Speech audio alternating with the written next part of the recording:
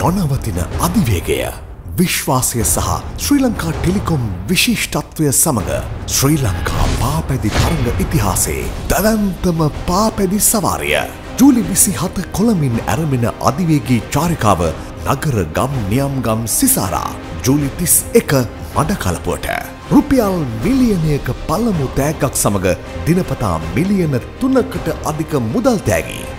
ජූලි විසි හත්වනිදා කොළඹ සිට පානදුර බලපිටිය හික්කඩුව වැලිගම හරහා මාතරට.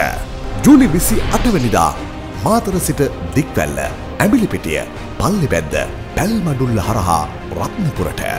ජූලි විසි නමවනිදා රත්නපුර සිට අවිස්සාවේල්ල කරවනැල්ල කෑගල්ල පේරාදනය හරහා මහනුවරට.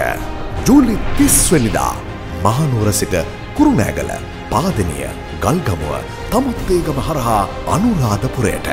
ජූලි තිස් එක්වැනිදා උදෑසන අනුරාධපුරයේ සිට මරදන් කඩවල හබරන ගිරිතලේ හරහා පොළොන්නරුවට. ජූලි තිස් එක්වනිදා සවස තරංග අවසන් පියවර පොළොන්නරුවේ සිට මනම්පිටිය වාලච්චේන චෙන්කලාඩි හරහා මඩකලපුවට.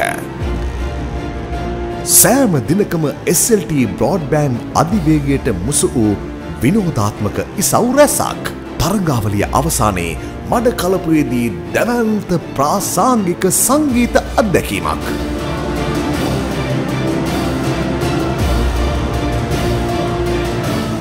ශ්‍රී ලංකාවේ දැවන්තම පාපැදි සවාරය සමඟ එක්වන්න.